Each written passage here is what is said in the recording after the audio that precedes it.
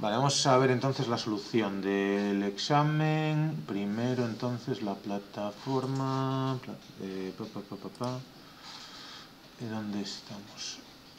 Ahí sí, mi examen no encontré.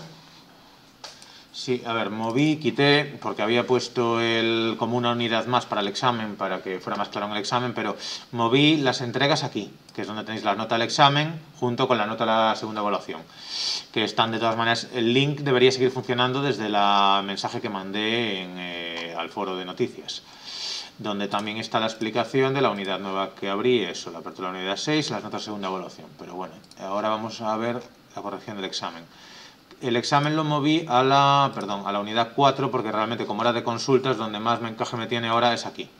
Entonces separen esas dos cosas para no tener una unidad separada. Aquí tenéis el link con el enunciado, eh, la solución, el script de creación y los dos PDFs. Entonces voy a usar, de hecho, esto lo tengo descargado y tengo ya abierto aquí.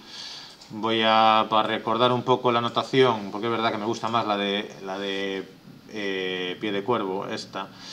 Voy a usar este diagrama ahora, aunque lo voy a hacer desde Beaver, tenemos acceso a los dos, pero bueno, prefiero tenerlo así abierto en el explorador. Sí, en Beaver en eso es verdad que es más rápido y tal, pero bueno, aquí no sé, eh, también al final son hábitos. Pero bueno, eh, entonces, bueno, pues sería cuestión de ejecutar esto, creación de artículos en MySQL, bueno, es cuestión de la administración, ya no me paro, yo ya la tengo aquí y ya la tengo montada. Entonces voy a hacer directamente sobre el fichero de soluciones, la voy a hacer atrás desde cero y si sale algo distinto pues lo incorporo o vemos la diferencia. Eh, vale, ok. Entonces creo que todo está ahí, pues vamos a ello. Ok. Entonces, mostrar todos los artículos, su título con el número de categorías en que tienen asignada puntuación y con su media puntuación entre todas esas categorías con un decimal ordenado por el número de categorías. A ver, vamos a ir haciendo cosas y entendiendo qué se nos pide. Select from. Entonces, todos los artículos, su título, nos va a hacer falta entonces la tabla de artículos, eso está bastante claro. De primeras, de manera que podríamos tener a punto título. Aquí tenemos los títulos de todos los artículos. Ya tenemos el título de artículos. Bien, con el número de categorías en que tienen asignada puntuación. Aquí la cosa ya se complica. Vamos a ver. Entonces, los artículos que están aquí van a tener una serie de puntuaciones en la tabla puntuaciones artículos, una NM que lo relaciona con categorías. Clave compuesta de artículo y categoría porque hay una, una determinada puntuación por cada artículo en cada categoría. Entonces necesitamos saber la cantidad, el número de categorías en que tienen asignada puntuación, que es lo mismo que decir el número de categorías en las que el artículo está presente en esta tabla. Es agrupar dentro de esta tabla por artículo contando las categorías. Entonces, podríamos, a ver, podríamos empezar por aquí y luego hacer el join para sacar el título, simplemente también. Ahora, como ya empecé así, pues ¿qué podríamos hacer?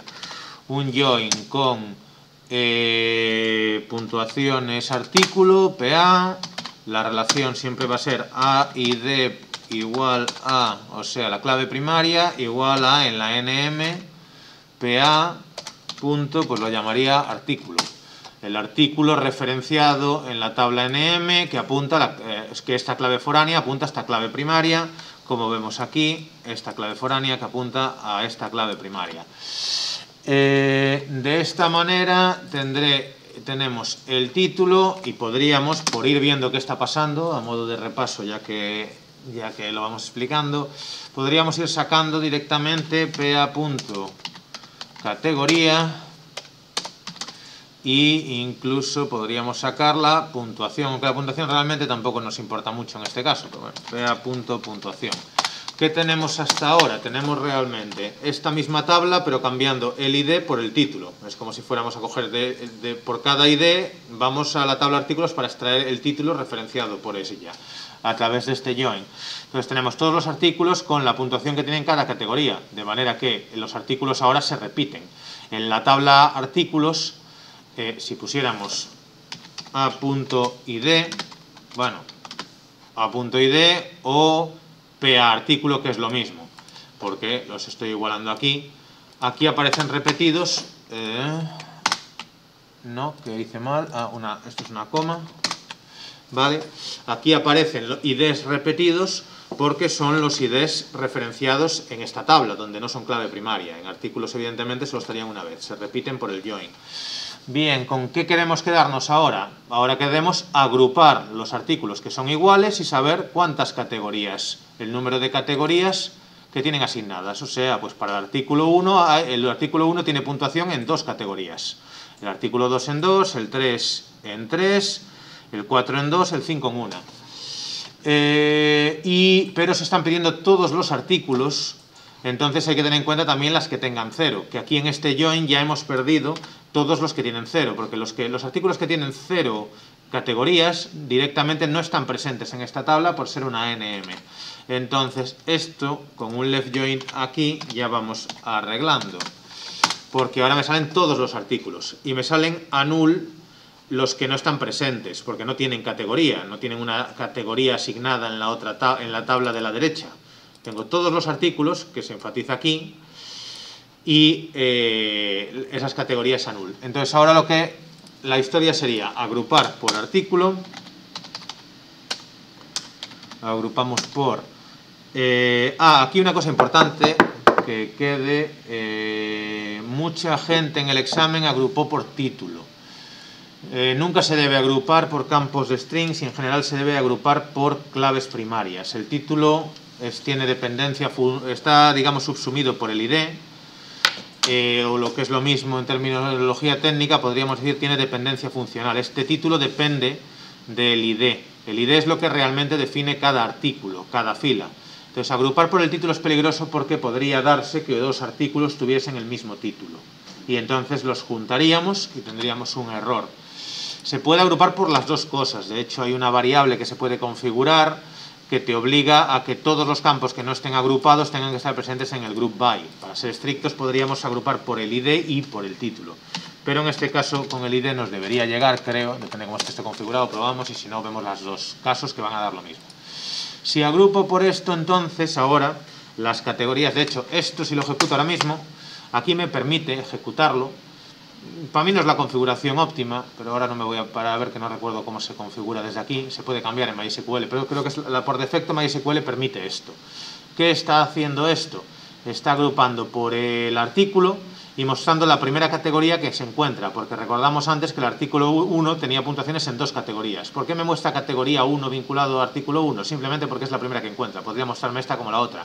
Y esto es, en general siempre o casi siempre va a ser erróneo y se debe evitar, porque estamos cogiendo un valor al azar.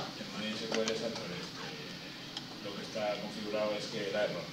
Porque yo estoy cansado de ver ya los errores del grupo. ¿En MySQL? Sí, sí, sí. Yo, yo tengo la pues, configuración por defecto, no toca nada y te sale el error. Uf, pues yo llevo años con la configuración por defecto y siempre me lo permite, debe depender de algo de... pues no lo sé. Eh, hay una variable con la que se puede cambiar, pero bueno, ahora no me pararé con ello. Eh, creo que en... Bueno, no tiene tampoco... Pues si no lo vemos en otro momento y, lo comento. Eh, creo que lo comenté por algún lado, ¿no? ¿No salió? Sí, sí, se comentó ya. Está en el foro en algún lado, ¿no? Me parece. se preguntó sí. y estaba comentado. Correcto. Vale, pues eh, sí, sí, había salido. Bien, decía, vale. Entonces, si agrupamos por ID, este campo necesariamente tendrá que estar agrupado. ¿Cómo agrupamos? Podemos agrupar, pues lo que queremos es contar las, las categorías en las que está presente. Podemos usar un count que ya nos va a ignorar los nules y de hecho creo que al ser un count ya, ya pondrá un, un cero por ahí. Eh, y la puntuación directamente ya dijimos que ni, nos interesaba, ya podemos irla quitando. Entonces aquí ya tenemos el número de categorías en que está presente cada artículo. Los que fueron incorporados por el left join que no, tienen, que no tenían nada, ahora tienen cero, porque un count de nules da cero, porque cuenta, el count cuenta todo aquello que no sea null.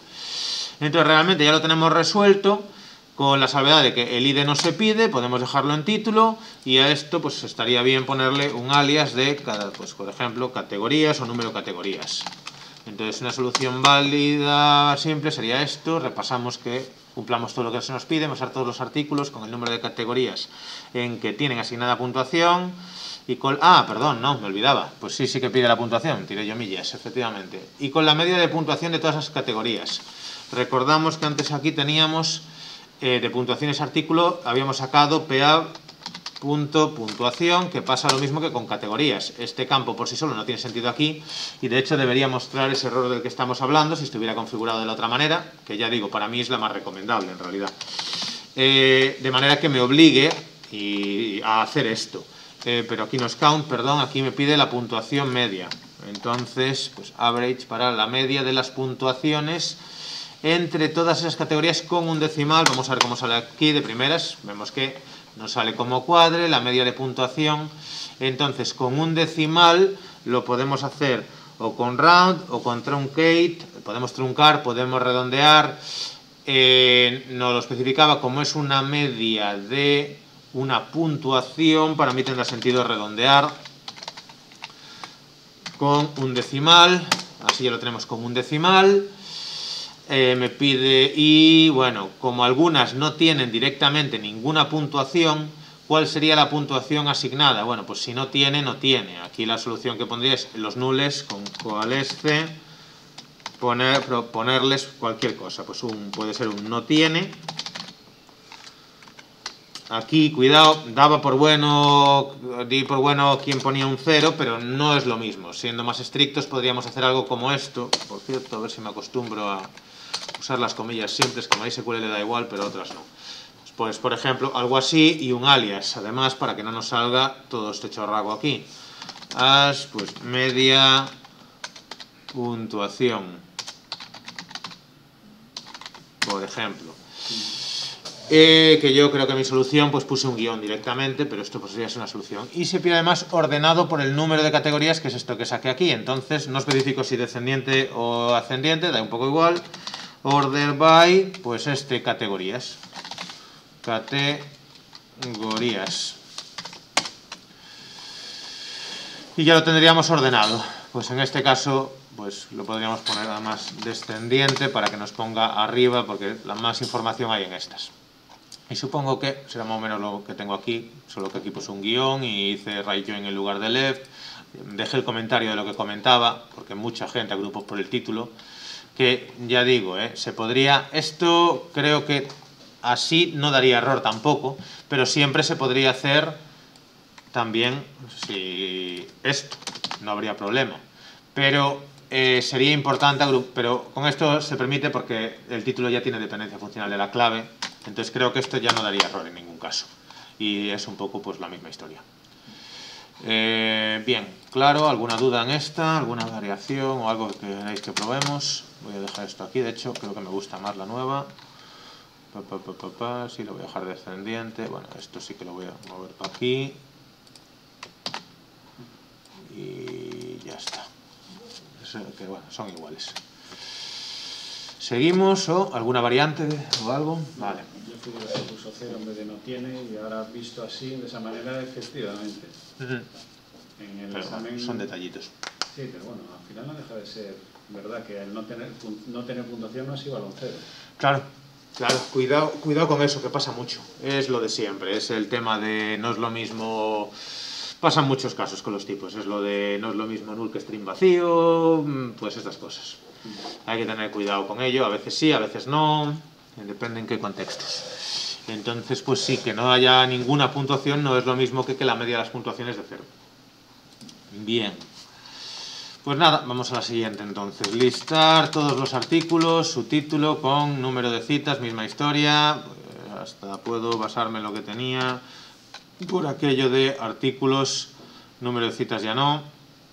Pero como son todos los artículos, el left join lo puedo mantener. Voy a borrar todo esto y lo del select, pero el caso es que quiero el título de todos los artículos. Entonces, como base, aquí tengo el título de todos los artículos y ahora con el número de citas que tiene, entonces vamos a hacer un join con la tabla citas, porque tenemos una tabla citas con una relación reflexiva de cada artículo con el artículo que aparece citado en ese artículo.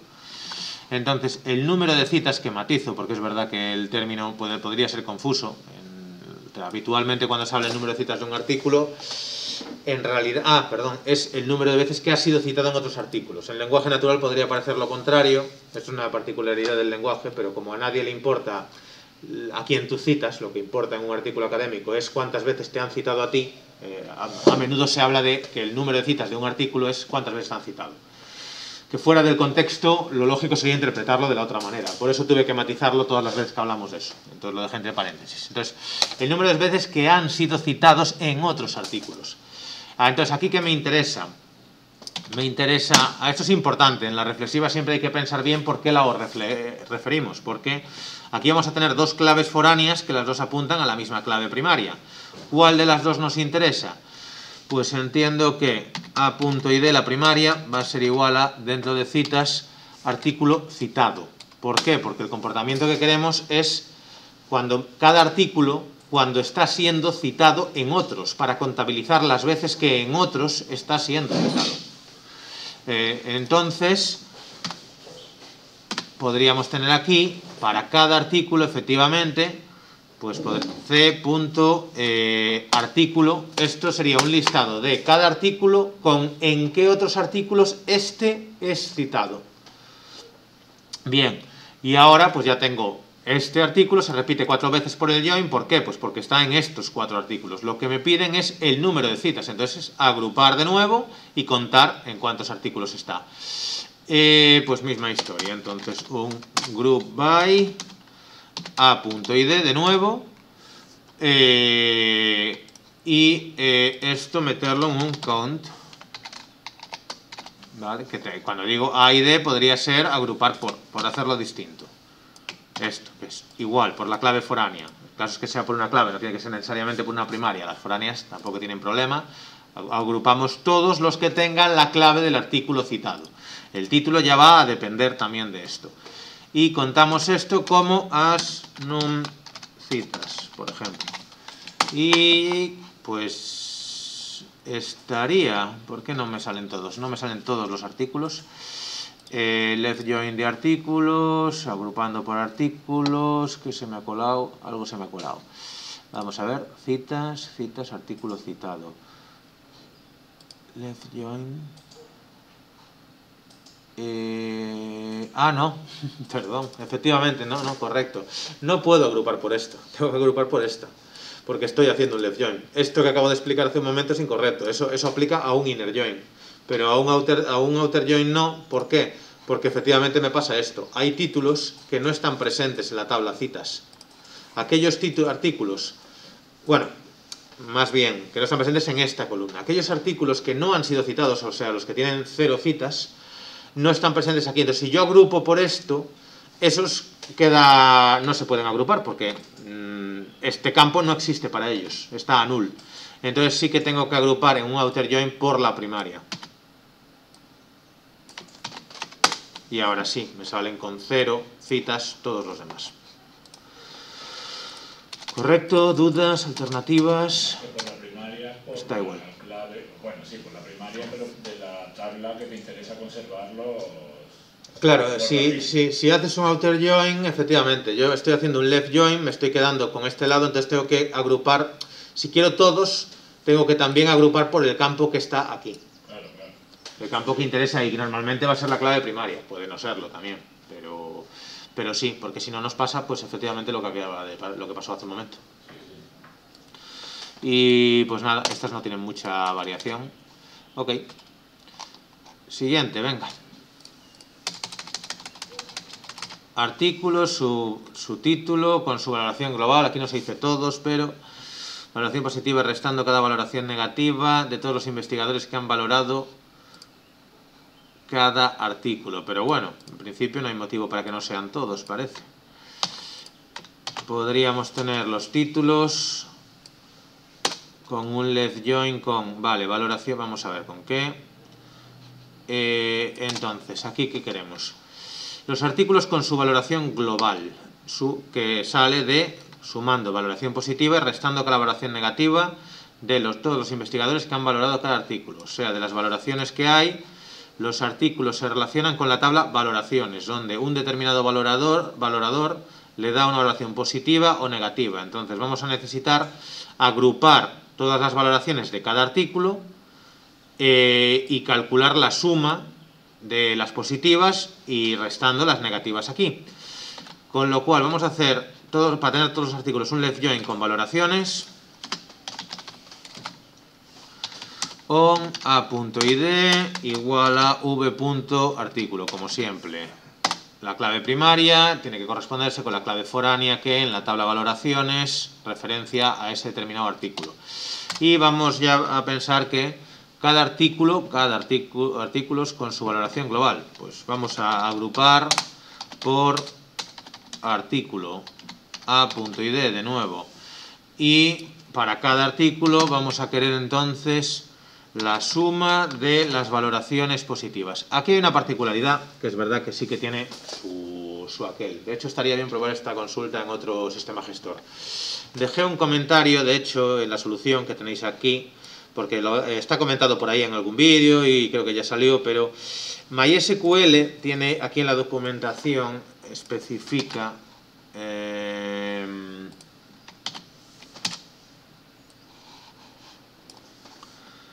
habla de usar tipos de datos de otros, de otros motores de base, de base de datos. Bien. Digamos que MySQL, esas son decisiones de diseño de cada sistema gestor de base de datos, cada uno, y en esto es donde hay pequeñas particularidades, pequeñas diferencias entre las implementaciones de uno y otro sistema. MySQL, el tipo Boolean lo utiliza, porque bueno, pues es un tipo útil y bastante extendido, y aparte esto facilita la migración de unas bases a otras, pero el tipo boolean realmente en MySQL se convierte automáticamente a un tinyInt. Probablemente en todos los sistemas gestores de base de datos a nivel físico sea lo mismo. O sea, un tinyInt es un byte. Puede haber matices sobre cómo se interpreta, si tinyInt, si byte, se, no vamos a profundizar tanto. La cosa es, lo importante es, un boolean va en un byte. ¿Por qué no va en un bit? Pues porque no se direcciona a nivel de bit. Esto ya es una cuestión de... Eh, incluso en programación a bajo nivel. Depende. Normalmente un microcontrolador, la memoria RAM, tú no direccionas el bit número tal, porque sería imposible con todos los bits que tienes en una memoria. Entonces, dire, puedes direccionar un determinado byte. Cada byte, cada posición de memoria de una base de una memoria RAM tiene un número asignado. Un, lo, ¿eh? lo, de las palabras era eso. ¿Cómo? Eso no era lo de las palabras, eh, pero no, las palabras, lo que pasa es que las palabras son más las instrucciones. Eh, hay una cosa en la que me pillas que no sé si, puede, si direccionas a nivel de palabra o direccionas a nivel de byte. Depende de la arquitectura. Ah, para nosotros es transparente. Lo que sí está claro, ahí, ahí, no estoy seguro. Si, aunque fuera a nivel de palabra, bueno, una palabra típicamente pues serán 4 bytes, 8 bytes. Depende de arquitecturas de 32 o 64 bits. Hoy en día son todas 64 bits, que significa una palabra de 8 bytes. Eh, entonces sí, pero bueno, eh, entiendo que si tienes tipos tinyInt es porque puedes direccionar un byte, que tiene sentido para mí. Entonces yo creo que está ordenado la memoria por bytes. Cuando digo direccionar es que te puedes referir a ello, que tiene un nombre, que tiene una dirección esa posición de memoria. Esto podemos en una memoria es un listado de una memoria RAM es un listado, digamos, de bytes eh, cada uno con un numerito que lo identifica, que indica su dirección. Entonces, porque tú, claro, tienes que decir, devuélveme el valor, cuando tienes una variable, realmente lo que estás haciendo es que esa variable está asignada a una posición de memoria. Esa variable, por debajo el compilador, está manejando eh, un número que identifica eh, dónde está en la memoria lo que has asignado ahí. Evidentemente, para no estar acordándonos de números, como tendríamos que hacer en una programación en ensamblador o... Sí, bueno, ya en ensamblador también hay alias. Eh, pues para no, para no eh, creo, eh, para no tener que acordarnos de eso usamos las variables, vamos. El caso, que no podemos, que aunque parezca contradictorio, un boolean tiene solo dos valores que cabrían en un bit, pero al final necesitamos cargar, utilizar un byte y perder 7 bits para utilizarlo. Y esto va a ser así en prácticamente todas las arquitecturas que trabajemos. Entonces, al final son tipos que todos se corresponden a lo mismo, en un tinyInt.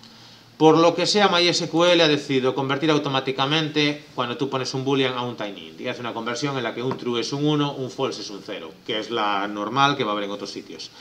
Si en otros sitios utilizan boolean y no directamente tinyInt, ¿dónde se diferencia esto? Si nos acordamos un poco de aquella distinción que hablábamos entre nivel lógico y nivel físico, pues características que tengas a nivel físico, de manera que el intérprete vea si es un boolean lo voy a comprobar de otra manera, si es un tinyInt, de hecho ya lo hace. Si en un tinyInt podrás meter un 18, en un boolean no deberías. No sé si MySQL lo, en realidad no, no he comprobado hacer un insert específicamente, no, no sé si hasta qué nivel castea. Tiene pros y contras, es arriesgado que, que permita hacer demasiadas cosas. Pero bueno, esto, como lo habíamos visto y había ejemplos en los primeros de empresa y estaba explicado, pues asumí que pues lo que tenemos aquí. De hecho, la verdad es que como ya está todo explicado, ya, ya, lo, ya me voy directamente a la solución, que es lo mismo. Dime. Se me plantea una duda. Si en lugar de tener eh, timing, como es en el caso de MySQL, tuvieses un...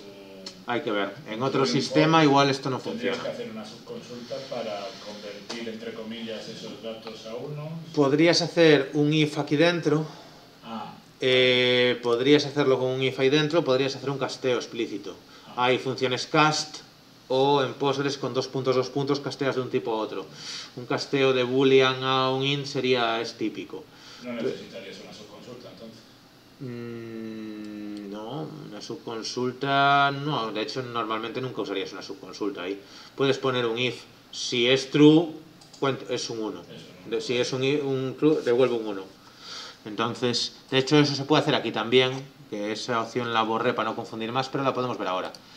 Bueno, vamos, después de este interludio teórico, vamos a ver. Entonces podríamos empezar por positiva.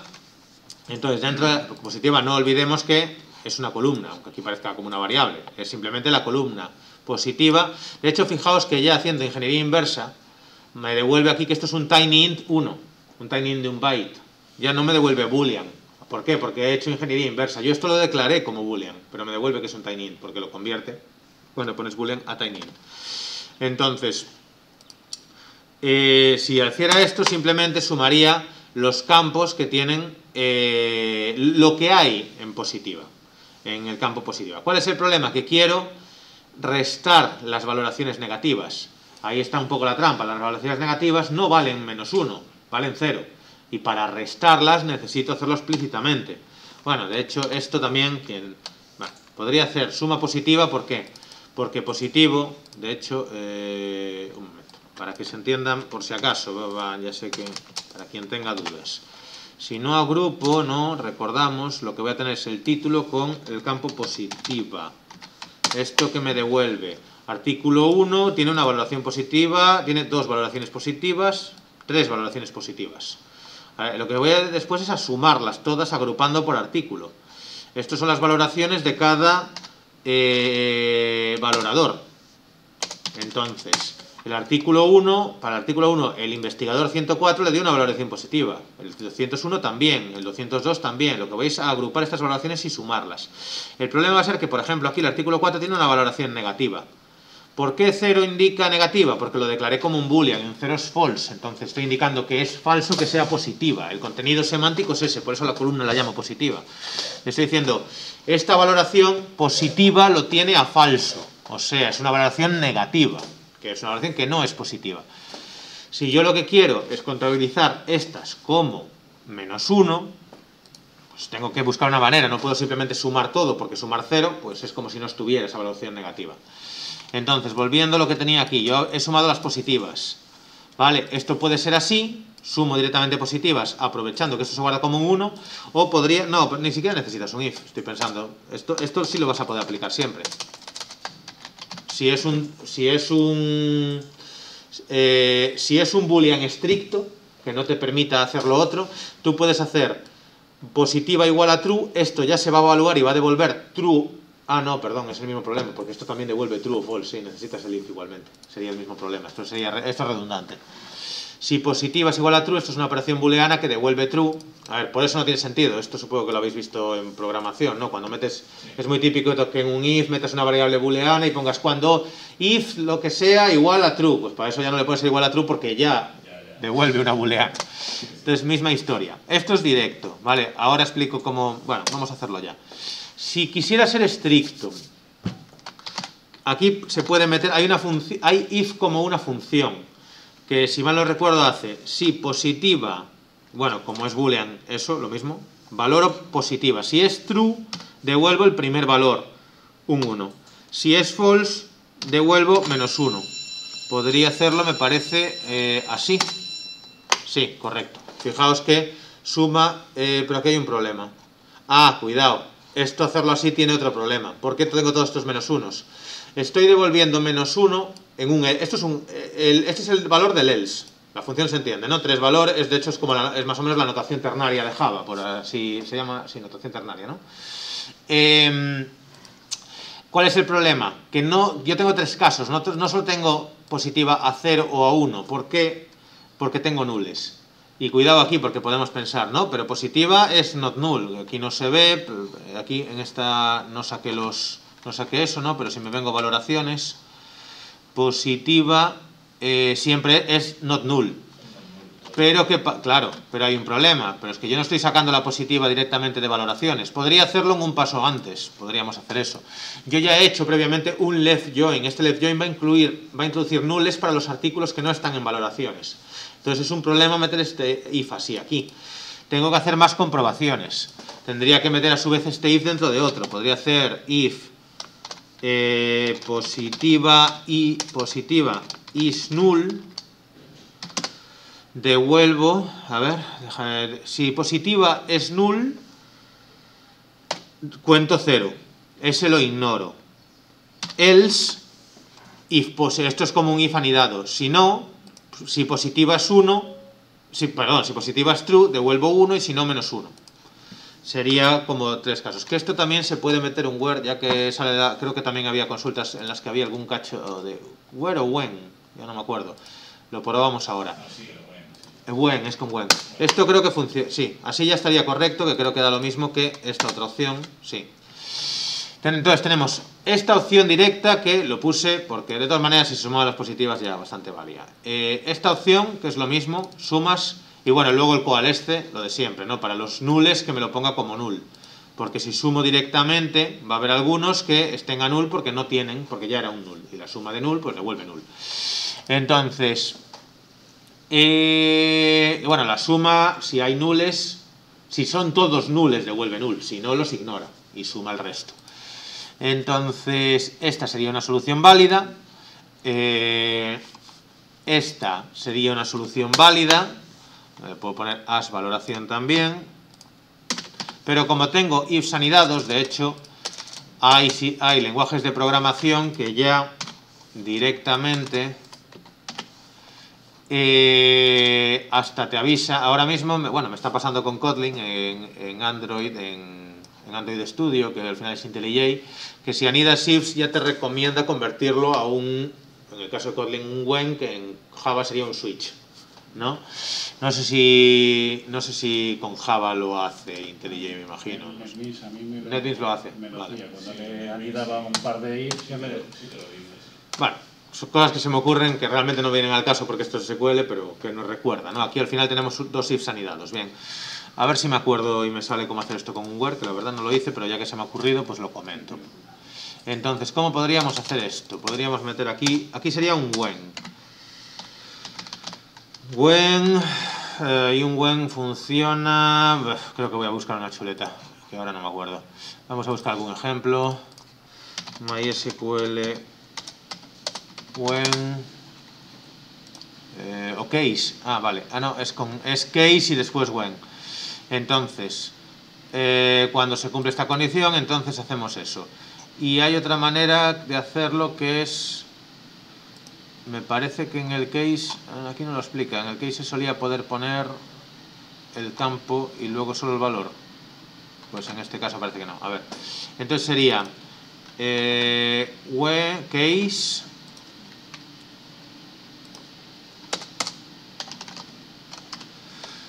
buen, positiva, y aquí ponemos los tres casos, positiva, is null, eh, then, then, eh, 1, porque todo esto creo que lo podemos meter dentro del sum igualmente,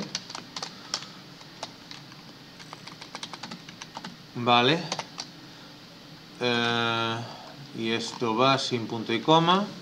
Y ahora when positiva is null when positiva a secas true entonces perdón en estos casos suma 0 en estos casos es 1 y eh, en estos casos eh, que no sé si se aquí no sé si se puede hacer esto creo que lo hago no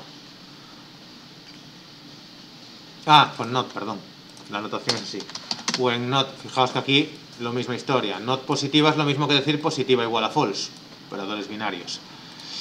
Eh, cuando not positiva, entonces menos 1, sería una forma, otra forma de hacerlo.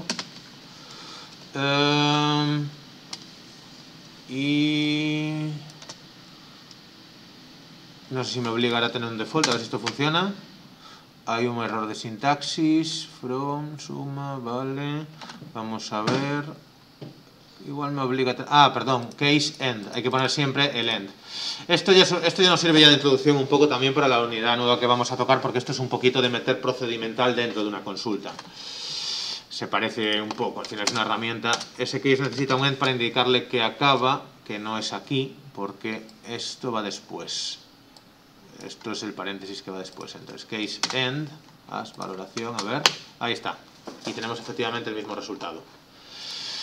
Con el matiz de que, bueno, aquí tenemos un else, aquí no estamos poniendo else, que no estaría de más por robustez, ya que nos ponemos a ver cosas. Eh, que realmente... Mm, esto, a ver, positiva nunca puede ser otra cosa. Yo qué sé, puedo dejar esto así.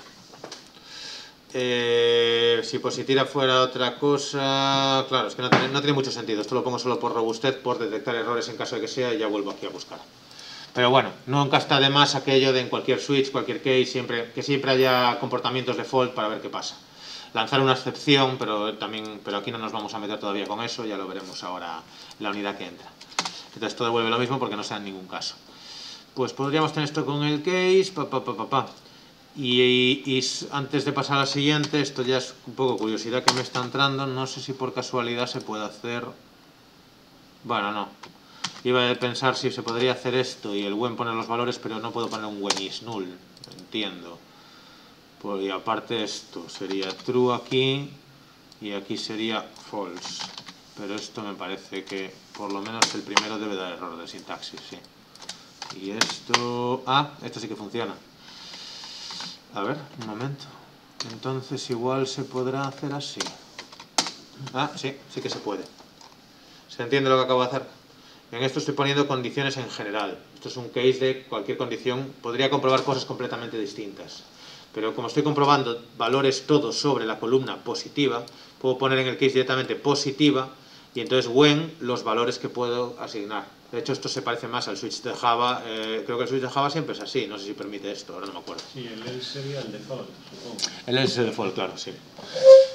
Eh, no, pero no me refiero a eso. Me refiero, ¿se entiende la diferencia entre arriba y abajo? Sí, sí, sí. Abajo pongo un listado de condiciones en cada when. Aquí estoy, aquí estoy diciendo, para esta columna, comprobar cuando es null, cuando es true, cuando es false. Entonces, quizás en este caso tiene más sentido usar esta notación probablemente la solución que más me convence es esta. Esta es la más robusta y la más exportable a otros sistemas de base de datos, pero no es la que esperaba que hicierais. Es que este me... Yo aquí hice un, zoom de la diferencia entre zoom y el count. No sé, a ver, en un principio era bien... Ah, espera, vi que lo... Mmm, vale.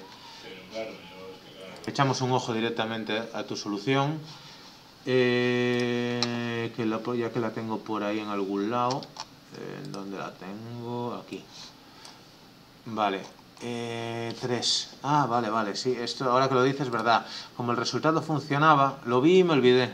Es que, es que me olvidé, lo tenía medio corregido en casa y me olvidé y lo volví a imprimir aquí. Mira, ahí tengo un despiste. Si luego detecto algo más te aviso.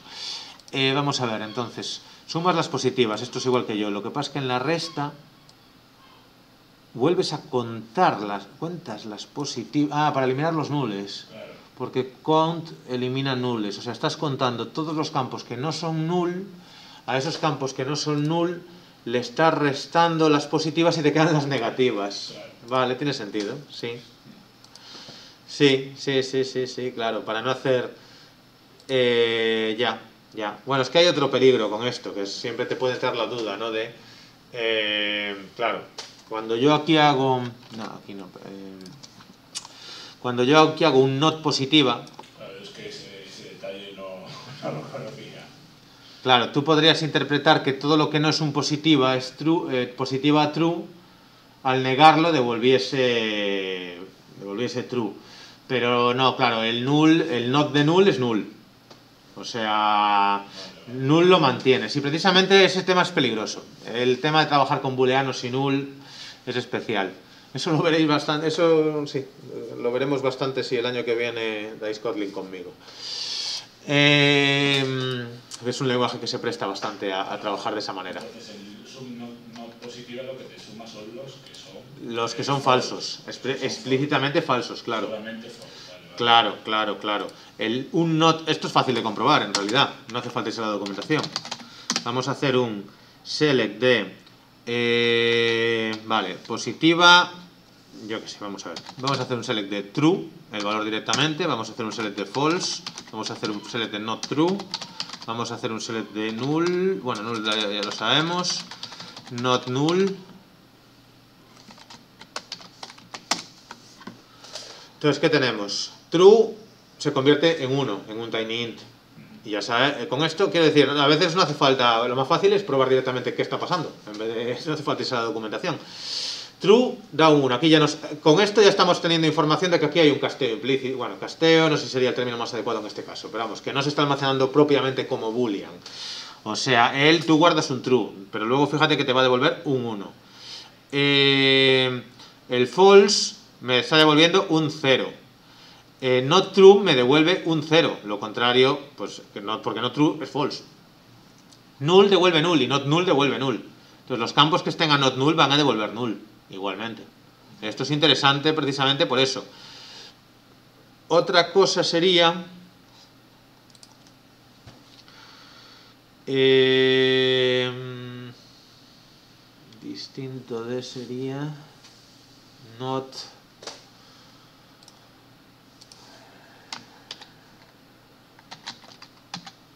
Positiva igual a... No, esto es lo mismo, porque si es positiva... No, yo creo que esto sigue funcionando igual, sí. Sí, sí, sí, no, no, no. Estaba intentando forzarle a, la historia, o sea, esto sería un not... eh, no, claro, not eh, true igual a true. Not true igual a true, no, no tiene sentido, no. A ver, precisamente eso. Eh, SQL ya es cuidadoso de eso para que no haya problemas con nulles. Es muy importante tratar de manera distinta los nulles y los false. Es información distinta. Eh, vale, venga, seguimos que ya es eh, mucha cosa nueva. Bueno, sí, dime. Yo, por ejemplo, en este se me fue la cabeza porque interpreté, o salí mal el enunciado y pensé que había que sumar las valoraciones, en las puntuaciones. Ah, ya hubo quien las... Espera, sumar las valoraciones. ¿En qué sentido? En el sentido de que, o sea, empecé, entendí como que, cómo valoraban el artículo. Sí. Una valoración positiva, pero con un, como, con una, con una puntuación. Claro, pero- claro. A ver, yo entiendo. Es verdad que la base puede ser un poco confusa. No es la más sencilla del mundo, sí. Bueno, eh, a ver, tampoco. Pero ahí es importante entender eso, entender que este campo es booleano. Entonces Sí, aquí sí, no es una no. puntuación. Entendía que era positiva, pero luego me iba a buscar a puntuaciones artículo la puntuación. Ah, vale, claro, pero por eso hablo de valor. En eso sí que, pues claro. Una cosa son las valoraciones, otra cosa son las puntuaciones. Aunque luego, a posteriori, la idea de esto es que las puntuaciones se generen desde las valoraciones, pero es una parte que no vamos a. No sé si la abordaremos, depende del tiempo que tenga en esta unidad para ju- jugar con esta base. Pero la idea final, claro, la idea de- del diseño este sería que las puntuaciones se generasen precisamente sumando las valoraciones. Estas consultas es un poco la base para lo que querría hacer con esta base de datos. Pero bueno, todo esto es un, esto es un poquito experimental. Se basa en un proyecto mío. Eh, vale, eh, entonces, sí, claro. Sí, creo que fuiste el único. Eso te liaste tú con esa historia, si te Sí, fuiste a puntuación. Cogí. Fue Mm. eso lo que entendí, que las positivas se sumasen y luego a esas le restaban las valoraciones negativas. ¿sabes? Ya, ya, ya, ya, ya. No, y de hecho, a ver, pensé que eso lo aclararía, que de hecho en otras consultas pido las valoraciones junto con las puntuaciones, ¿no? En alguna de... De hecho, no... No... Artículos, no... cada autor con la puntuación media de sus artículos. No, y la propia puntuación. ¿No había uno de valoración? No, claro, es que no, no, no, tiene eh, valoraciones positivas, pero no, no, no, no, no hice esa. Esa era otra opción. Bueno, no sé, más cosas de la 3. Sí, no, fue, fue comprensión lectora, punto. Ya, sí, bueno, a ver, claro, es... Tengo que, bueno, a veces pongo también alguna, tengo puesto el definir lo que quiero de resultado con alguna imagen, tampoco estaría más, o aunque sean los campos para evitar confusiones, pero bueno. Tomo nota. Eh, vale, pasamos a la 4. Venga. Entonces, vamos a escultar la solución. Vale, mostrar valoraciones. A ver, aquí se empezaba a complicar, ¿no? O por lo menos aquí fue donde la gente se empezó a liar. Vamos a ver, mostrar valoraciones que un investigador ha dado a un artículo del que es autor. Vale. Entonces, select from, vale, artículos del que es autor. A ver, aquí se podrían hacer muchas cosas. Eh, bueno, vamos a hacerlo de una manera, luego lo podemos hacer de otra. Porque también algunas quiero hacerlas a lo mejor.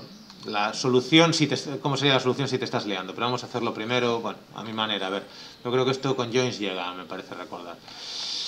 Valoraciones que un investigador ha dado a un artículo del que es autor. Eh, mostrar el autor y el título del artículo.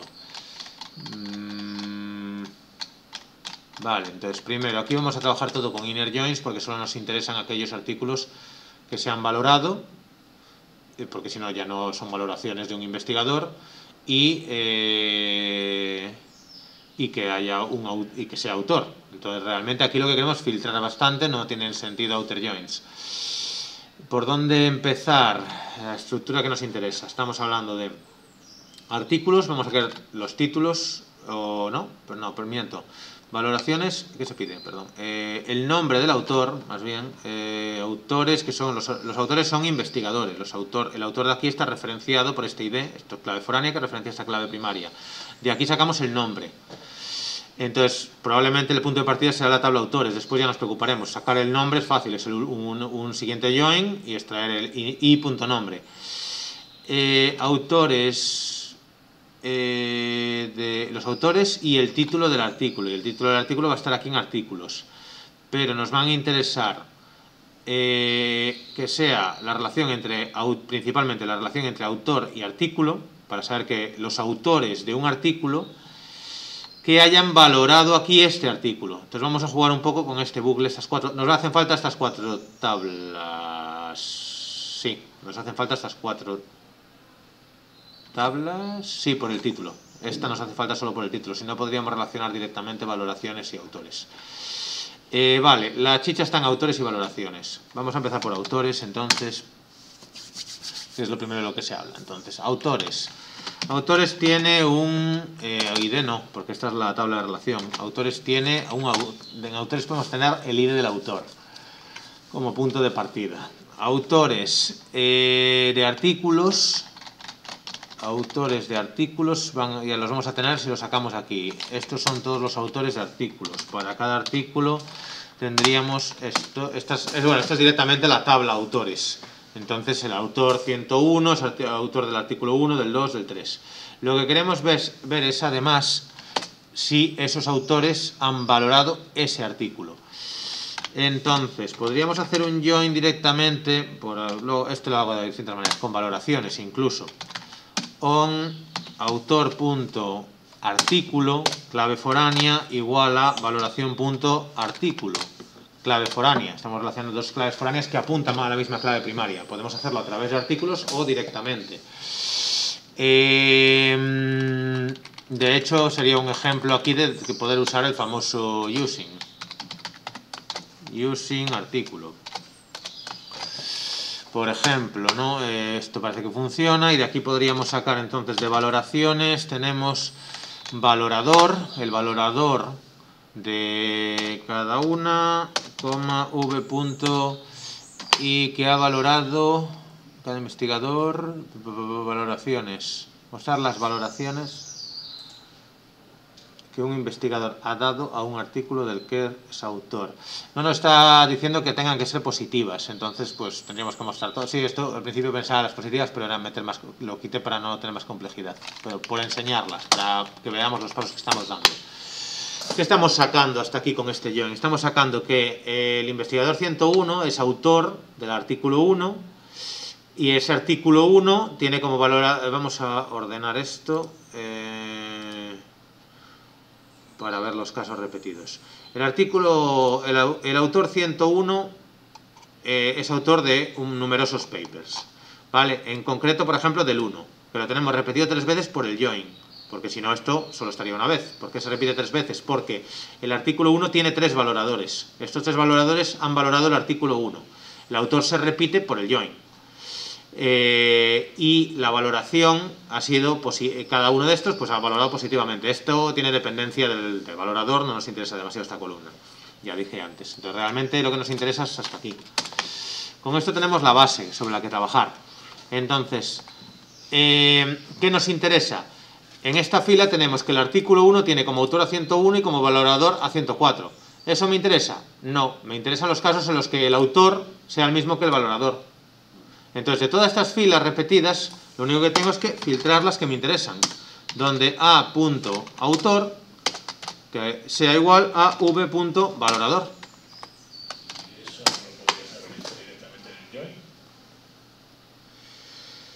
Eh, sí, en un, a ver, en un inner join, prim- punto primero. Vamos a hacerla, eh, esta conversión, en este caso, bueno, con el using, con el using no, pero No, bueno, no, sé, bueno, sí, igual puedo hacer un on, sí, ah, no, no, no deja, eh, espera, ojo porque marqué mal, así, Parece que no lo permite, entonces tendríamos que hacer... A ver, vamos por partes. Voy a dejarlo así y ahora discutimos eso otra vez, que esto también salió en el foro. Eh, de hecho, alguna de las hay alguna más adelante que la veremos, que empezaremos a hacer, a meter cosas en el on, porque es verdad que a veces ayuda mucho, sobre todo con outers, con outer joins. Pero, pero no me refiero a meter cosas añadidas al ON, porque yo soy muy de meter- Ah. no, me refiero, si, si en lugar de, de unir las dos tablas por artículos, las unes por autor igual a valorador, no, no te quitarías ya, o no tiene nada que ver. Ah, hablas simplemente de conceptualizarlo de otra manera, entonces, más bien. Si, lo, si las relacionas mediante autor igual a valorador con un inner join, no te, o eso tiene que ir en el web siempre. Vale, a ver, vamos a ver, vamos a comentar dos cosas. Por acabar lo que estaba explicando, ya que, y que quede grabado de todas maneras, esto, como decíamos, era equivalente a un on a punto eh, artículo igual a v punto artículo. Eh, y este where podría ponerse como un and y esto debería funcionar igual. Da el mismo resultado porque en un inner join al final las condiciones del where pueden ir en el on. Partiendo de esa base. Ahora, tú lo que me comentas es que partes de esto. No, eh, de esto, ¿no? Vale, vamos a ver. Ah, no, vale, vale. Bueno, a ver, eh, la otra condición la necesitamos igualmente. Vale, vale, sí, ahí lo que estás haciendo es la relación, pero no estás filtrando. Eh, más bien, eh, es que está relacionando autores con valoración por el hecho de que... Bueno, a ver, sí que tiene sentido, ¿eh? A en este caso es muy particular. Ahora volvemos... a- Estoy empezando por... Igual debería hacerlo al revés, eh, pero bueno, estoy empezando por la solución más directa, como lo pienso yo, luego lo, lo hacemos otra vez y lo hacemos pasito a pasito para quien se pueda perder. Vamos a ver, en este caso las dos opciones tienen sentido, porque es que esta tabla y esta se relacionan precisamente es que tienen la- es que es un caso muy particular en el que las dos claves foráneas vas por los dos lados. Claro yo tuve como punto yo yo dije relaciono por aquí y filtro por aquí pero se puede pensar perfectamente al revés sí tiene todo el sentido del mundo. Autores se puede hacer un join con valoraciones donde el autor es el mismo que el valorador. Vamos a seguir el proceso que hice antes al revés. Entonces qué estoy haciendo aquí estoy diciendo el artículo 4 tiene como autor al 104 y tiene como valorador, eh, lo que pasa es que si hago esto, de aquí ya no me interesa, claro, esta columna ya siempre va a ser igual que esta. Entonces, claro, de aquí me interesa V artículo. Esto es el mismo razonamiento que hice antes a la inversa. Yo puedo empezar desde aquí. Entonces tengo, el artículo 1 tiene como autor el cierto 4 y... eh, espera, espera, que lo estoy pensando, ¿qué estoy diciendo? Y esto, vale, has eh, valorado. Por ejemplo, digamos, el autor 4 es eh, autor... Es que es verdad que aquí la semántica en este ejemplo se presta menos, pero... El, el investigador 104 es autor del artículo 4 y ha valorado el 1. El investigador 104 es autor del 5 y ha valorado el 1. Y todas las combinaciones de estos casos. Entonces, yo eh, te empiezo por el 104, artículo 4, tengo que el 104, por ejemplo, el, 100 el autor 104 es autor del 104 y además ha valorado el 4. Aquí ya tengo una de las filas que me interesa. Entonces, mismo razonamiento. Tengo todas las combinaciones de un investigador con artículo del que es autor y valoraciones que ha hecho. Y ahora filtro. Entonces, ¿cómo filtro? Where eh, a punto eh, artículo igual a v punto eh, artículo valorado. O sea, el artículo de la autoría eh, es igual al artículo que ha valorado. Y de esa manera re revuelve lo mismo. Entonces, eso tiene sentido, esto tiene sentido, tendría sentido incluso la que teníamos antes perfectamente, porque al final, sí, en este caso la verdad, me has hecho ver que este, en este caso tiene bastante sentido pensar en un AND y listo, porque estoy haciendo el join por los dos lados. ¿Qué pasa? Conceptualizarlo así de primeras no es algo que, de hecho, no se me había ocurrido, la verdad. No se me, creo que nunca se me había dado el caso antes de, una, de esta particularidad, sí. Es una circunstancia muy particular donde tenemos justo dos NMs análogas. Claro, paralelas. Vale. ¿Se entiende hasta aquí? Entonces, estos tres casos son, estas tres sería, serían equivalentes. De hecho, las podríamos meter en un with si alguien y dar el paso siguiente. Lo que pasa es que es verdad que quizás lo más tricky, lo más complicado es precisamente esta parte y también es la más interesante. La información importante ya la tenemos, ahora es solo eh, visualizarla. Entonces, ¿cómo la visualizamos? Pues con unos joins cogemos cualquiera de estas. Me voy a la primera porque ya digo, era la que más me... Aunque en este caso, bueno, ya que hemos llegado aquí voy a hacerlo con esta. Sí, lo voy a hacer directamente eh, sobre esta, venga. Entonces, eh, ya tengo las filas que me interesan. Ahora, ¿qué hago? Eh, lo que me piden. El nombre del valorador en lugar del ID y el título del artículo. Vemos que artículo y valorador, primero, esto ya me sobra porque es eh, redundante. ¿No? Entonces parto de esto. Esto es el resultado. Lo único que tengo es que convertir esto en nombre y esto en artículo. Y ahora puedo entender que hago dos joins eh, exclusivamente por motivos eh, visuales. Por motivos de mostrarlo como quiero. Entonces hago un join con investigadores ¿Con qué condición? El ID del investigador, que es de donde voy a sacar el nombre, es igual a a.autor. Esto ya me permite, este autor de aquí, que me sirve para, eh, eh, que lo estoy usando para referenciar a investigadores y entonces tener ahora investigador para poder sacar el nombre. Y, eh, vale, y de, y misma historia ahora, puedo hacer un join con artículos donde a artículo, que es el que quiero cambiar, que es la clave foránea, va a ser igual a en artículos a la clave primaria. De manera que ahora, perdón, artículos en este caso, porque ya tengo autores por su lado. Eh, y de aquí entonces puedo sacar ahora de artículos el título. Y ya tengo lo que me piden el autor y el artículo. Alonso Charts se ve que ha estado ahí de tramposillo sumándose puntos.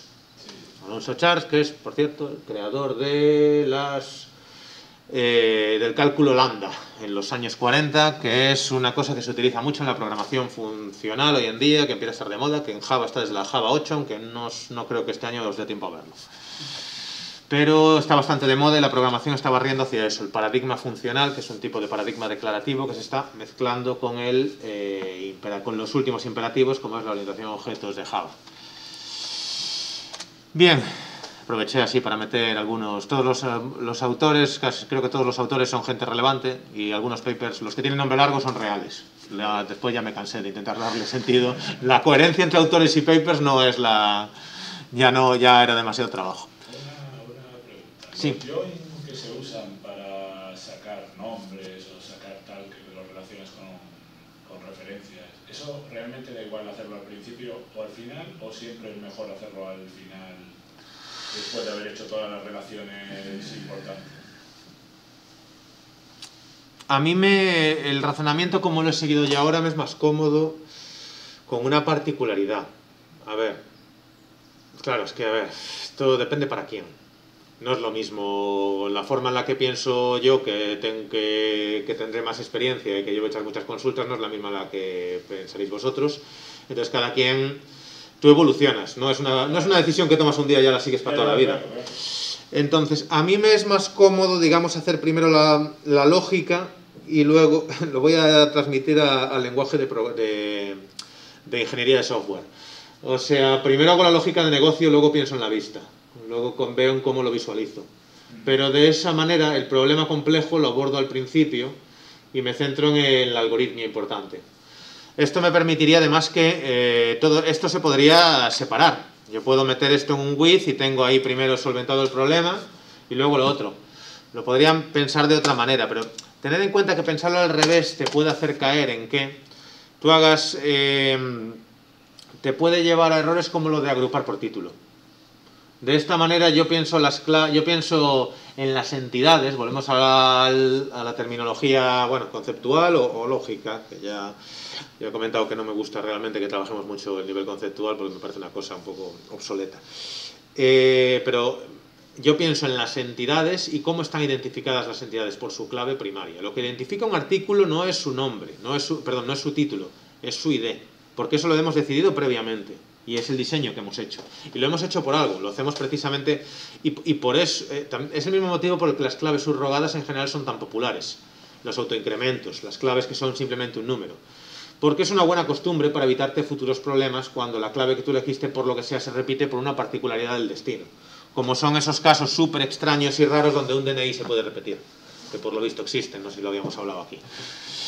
Eh, ya no me acuerdo ni por qué, pero esto es una cosa que había surgido en clase el año pasado y alguien lo había investigado. Que había casos en los que un DNI se podía repetir los muy antiguos porque aún no estaba informatizado el sistema y pasaban cosas. Entonces, con un ID siempre te evitas problemas. Entonces, la lógica la debes, tú debes partir de, hay que tener esa capacidad de pensar como la máquina. Tú haces el paso de conceptual a lógico en diseño. Tú ya has definido que un autor se define por su ID. Es una decisión que tomaste previamente, ahora tienes que ser consecuente con ella. Por lo tanto, los autores son IDs. No, no es Manolito Pérez, es el autor 3. Entonces, resuelvo el problema así y luego ya pienso cómo lo visualizo. Es un poco la lógica que yo sigo. Eh, pero bueno, esto es un poco. Aquí ad hoc te acabo de razonar, acabo de pensar, de explicar lo que. Mejor, peor. Le veo esa ventaja, pero. Pero bueno, podría ser otra manera. La parte mala, que es a lo que iba ahora un poco, es que es verdad que. Sobre todo en este caso, por ejemplo, aquí a lo mejor hay gente que esto de golpe le, le chirría por no pasar por la tabla intermedia que también es una buena práctica. Si te están confundiendo los joins al principio, mientras no coges más fluidez, es muy bueno eso que os comentaba, de no te metas en líos. O sea, que todo join en el on lleve una asociación de clave foránea con clave primaria. Y yo creo que siguiendo ese criterio puedes resolver todo. Es la forma más purista, probablemente. Es la forma que también te obliga a los filtrados meterlos siempre en where. Pero también es verdad que, oye, conforme vas avanzando, a veces es muy útil meter en un on un filtrado. Claro. ¿Por qué? Porque te permite, te evita subconsultas. Hace que vayas haciendo todo de una manera lineal. Hago un join, luego el siguiente, luego el siguiente. En algún caso más adelante lo vemos. Bueno, entonces, pues eh, enlazando con eso, vamos a repetir la jugada. eh, que estamos teniendo dificultades. ¿Cómo abordamos esto si estamos teniendo dificultades? No somos capaces de pensarlo de esta manera, nos está liando demasiado la cabeza. Vamos más paso a paso. Bien, eh, empiezo, eh, vamos a hacer pues en un orden más tradicional. Esto de aquí, es que no sé si copiar todas con los joins. eh, bueno, luego lo limpio. Estos que me siguen, me parecen interesantes pese a todo. Bah, da igual. Quedan ahí, creo que se entiende. Si no, ya le daré una vuelta después a cómo lo redacto. decía, vamos a empezar de nuevo. Entonces, select from, vale, vamos a ver. Puedo pensarlo de otra manera, puedo pensarlo al revés. Pensar que voy a visualizar, ¿no? Entonces, quiero el nombre del valorador autor.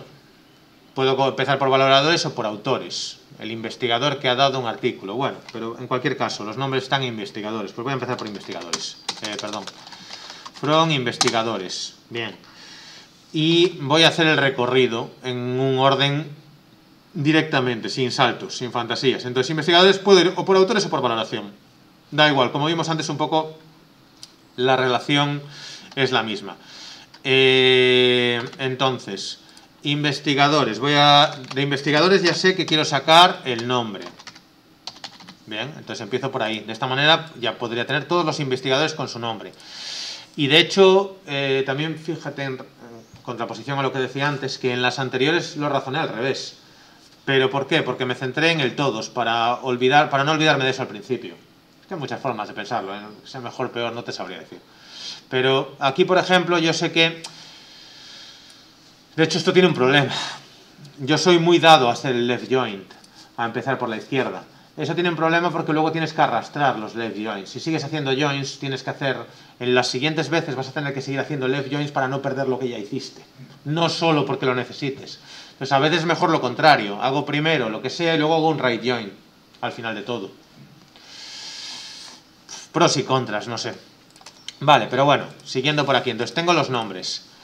Eh, empiezo por ahí. Bueno, voy a hacerlo no olvidar. Vamos a hacerlo al revés para ver el, el enunciado. Bien, entonces tengo los nombres. Eh, estos investigadores Valoraciones que ha dado a un artículo del que es autor. Pues o valoraciones o autor. Pero en cualquier caso voy a tener que hacer un join pues, con cualquiera de las dos. Entonces, join autores.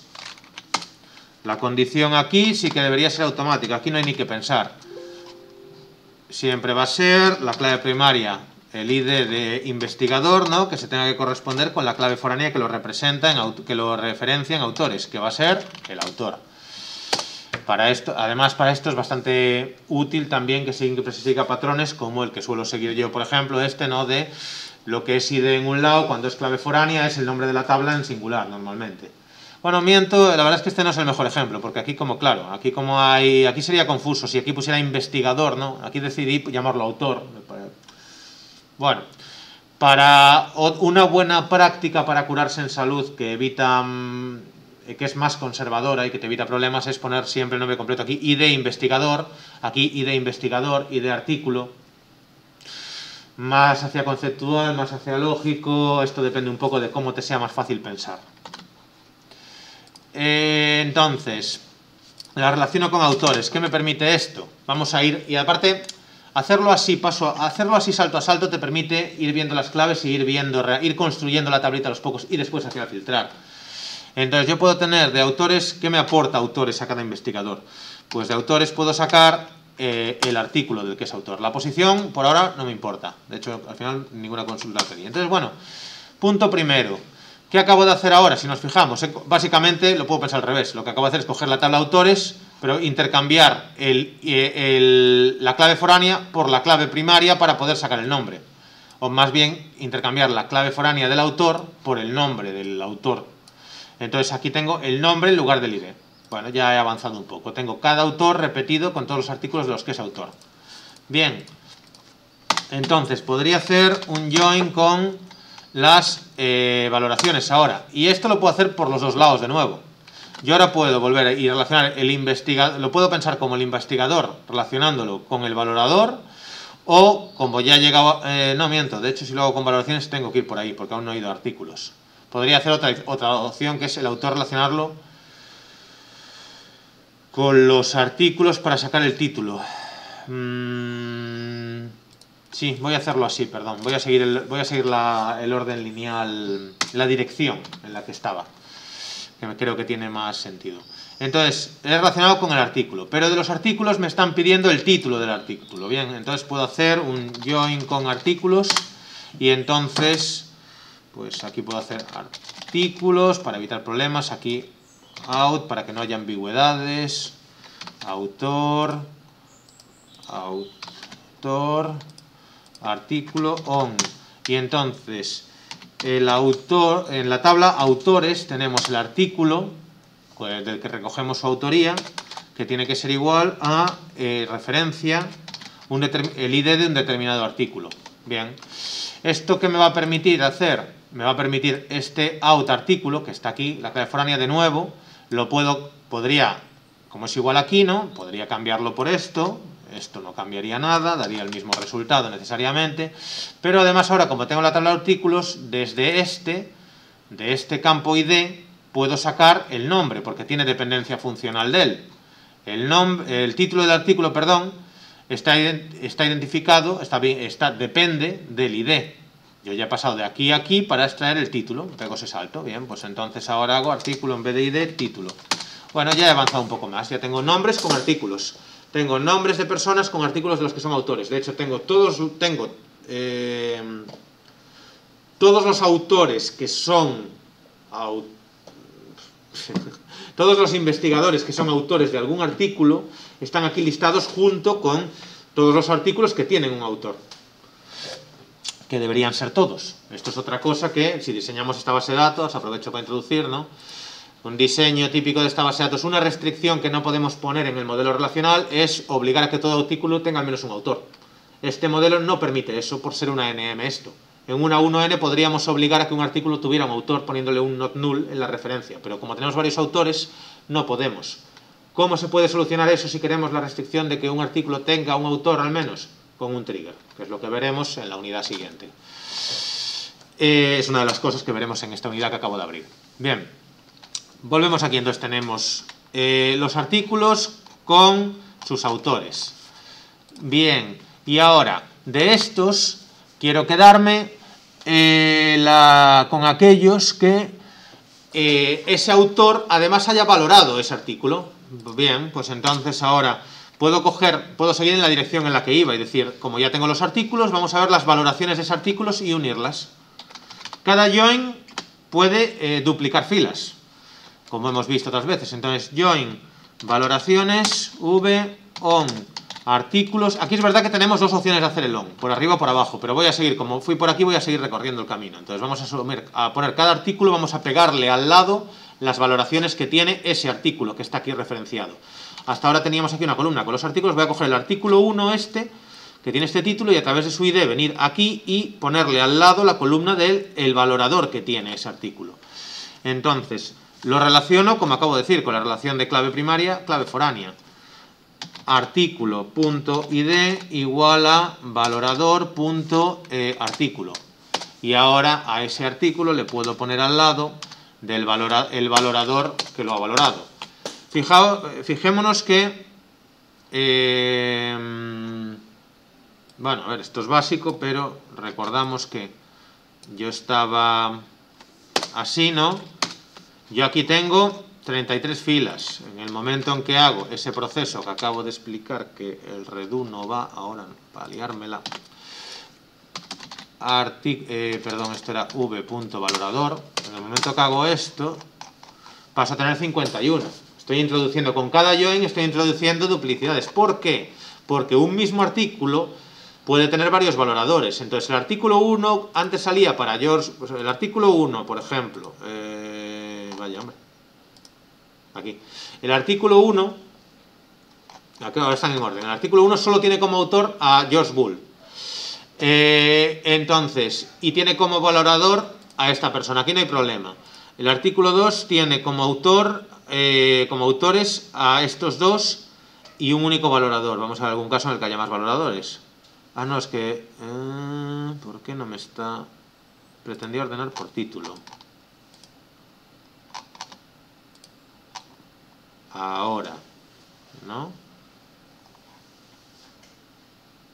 ¿Por qué? ¿Por qué no me está ordenando solo por título, que es lo que pretendía? Bueno, lo voy a hacer aquí. Venga. Order by eh, título.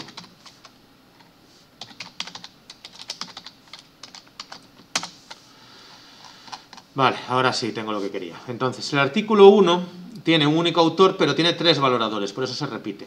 El artículo 2 el artículo 2 vemos que tiene dos autores y tiene también varios valoradores, de manera que artículo 2 con George Bull nos aparece este valorador con su otro autor, también el otro valorador, con el mismo autor que ya salió y otro valorador, o sea, estamos teniendo cada yo en todas las combinaciones, ¿no?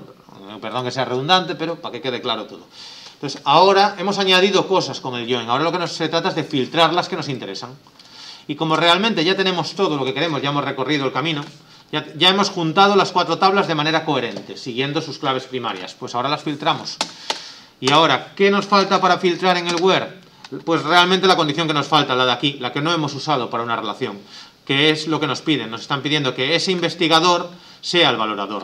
O sea, de estos artículos, autores, de estos artículos que tengo con el nombre del autor y con el ID del valorador, vamos a comprobar que ese ID del valorador eh, sea el mismo que el, de, que el ID del autor. y ¿qué ha pasado? Out, autor ID, valorador ID, valorador no es valorador ID, es valorador, es valorador de la tabla valoradores. Eh, tampoco out ID, no, lo que no me encuentra es, ah, es que no es out, eh, es investigador ID, perdón, no sé qué dice, eh, claro, para llamarlo autor me lié. O sea que el investigador de, sea igual que el valorador, que realmente como este I y D que tenemos aquí ya es igual al autor, también podríamos hacerlo así. Las dos serían equivalentes. En este caso sí, porque estamos con, con inner joins. Y aquí no habría problema. De hecho, al final es la condición con la que empecé antes. Pero bueno, eh, igual en este caso, como el otro ya lo expliqué, tiene más sentido pensarlo así. El resultado es el mismo. Volvemos a tener lo mismo. Y el valorador realmente, en lo que me piden, ya, ya no lo necesito está bien hacerlo, está, está, muy bien ir metiendo en el select campos para ir comprobando cada paso que controlas lo que estás haciendo. Es muy importante ir entendiendo los pasos y no buscar una solución a lo loco, porque si no, aparte es muy fácil en SQL que tengas una solución que parece la correcta y no lo sea. Y aquí depurar, eh, digamos más bien testear, no es tan fácil como en otros mundos. Se pueden hacer, pero no vamos a abordar tampoco el tema de pruebas, porque habría demasiadas cosas que abordar. Entonces volvemos y tenemos otra, otra solución válida nombre, que podríamos llamarlo eso, valorador, autor, bueno, investigador, lo que sea. Claro, incluso podríamos meter eh, esto así, y de hecho, bueno, y de hecho es que la que tengo aquí es otra más distinta. Aquí empecé por valoraciones. Bueno, seguí otro criterio que, que fue más, más, literal al enunciado.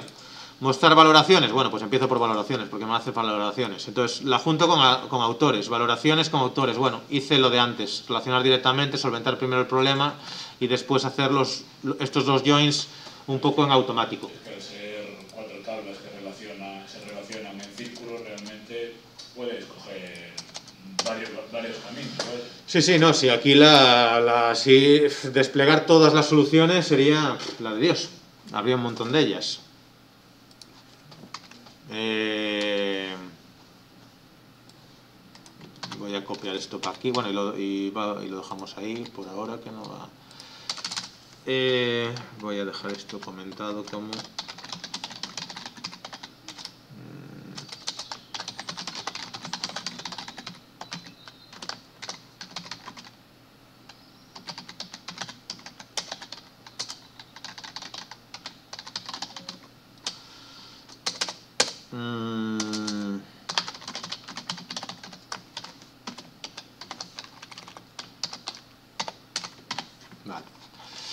por tener todo completito. Eh, bien. Y a ver, siempre habría la opción de, si aún, si aún estas opciones nos están liando, eh, lo dicho, eh, que comenté, la gente al principio, si tienes dificultades, hay problemas, puedes ir metiendo cada join en una tabla derivada, o sea, en un with. Puedes anidar withs los que quieras.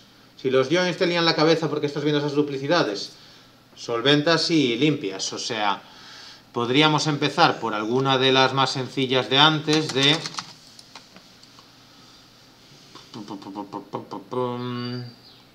¿Por cuál empecé? Eh, pues eh, a ver, vamos a hacerlo, vamos a hacer una más así rápida o, empezarla. Eh, podríamos empezar por solventar un subproblema. Entonces, valoraciones. Me están hablando de valoraciones. Vale, vamos a empezar en lo que... Bueno, select from valoraciones. Bien. Nos interesan las valoraciones que un investigador ha dado a un artículo. Vale, pues la valoración con el investigador, porque luego de ese valorador me van a pedir el nombre, ¿no? Pues entonces puedo hacer aquí el primer join con investigadores y on, como siempre, esto es automático, y id igual a v.valorador.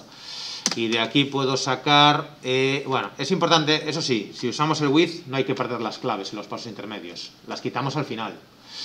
Entonces aquí sí que me interesa eh, la clave primaria que hay presente, eso es importante.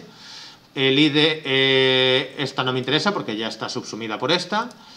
Y eh, sí que me interesa información de investigadores, no me interesa... Ah, claro, lógicamente esto para no perderlo después. Entonces estoy como expandiendo la tabla de investigadores.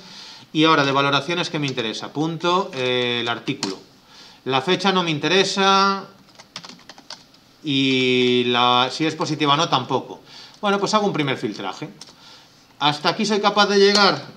a un en sencillo? Bueno, pues tengo un primer paso.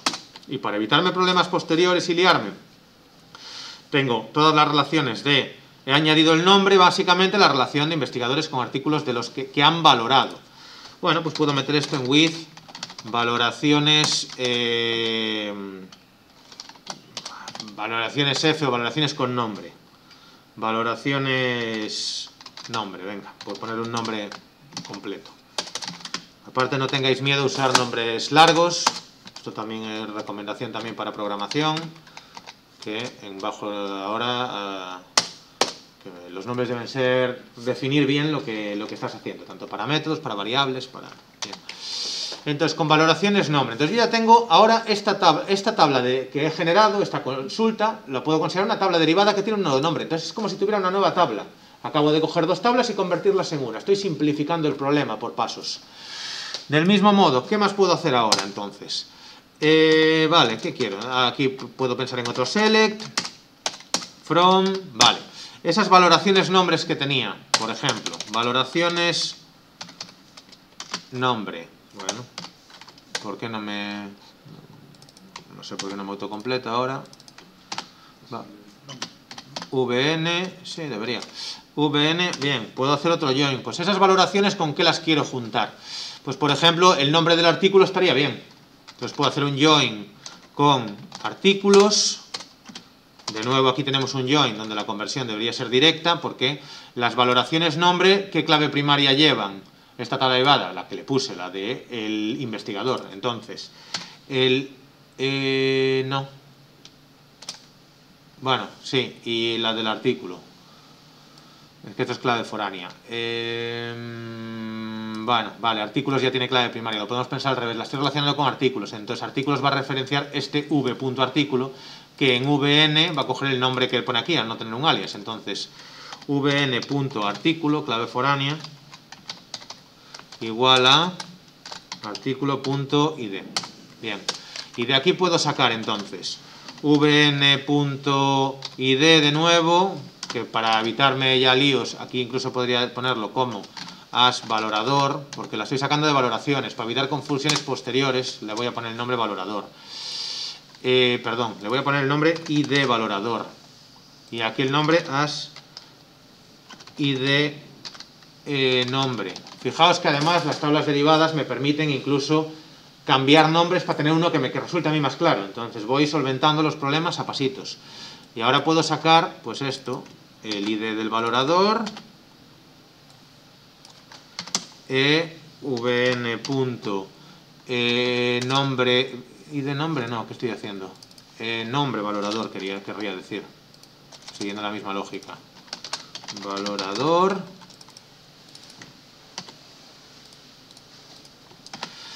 El, el, ID del artículo no está de más perderlo por misma historia que comentábamos antes, porque aunque en este caso sí, porque voy a necesitarlo, entonces eh, pero en este caso ya sabemos que es vn artículo, que es igual a a y d, pues es la misma historia, pero eh, aquí puedo hacer... Bueno, da igual, misma historia. Esta, por ejemplo, como cualquiera de las dos. As, artículo, id artículo.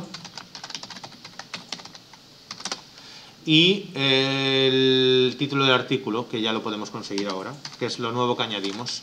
A título, as artículo eh, no, título, artículo, ¿vale? Bien, entonces tengo ID de valorador con el nombre del valorador, el artículo que ha valorado y el título del artículo que ha valorado. Y esto, perfectamente, yo puedo poner, a cuidado siempre con que la coma, en la última consulta no lleva coma, pero esta sí, y entonces le puedo decir, vale, pues creo otra. ¿Y esta cómo la llamamos? Pues esta es valoraciones con nombre y título. Por ejemplo, nombre, título, valoraciones, bueno, valoraciones, sí, nombre, título.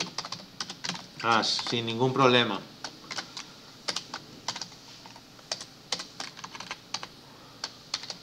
Entonces ya he cogido y tres, ya tengo tres tablas simplificadas en una.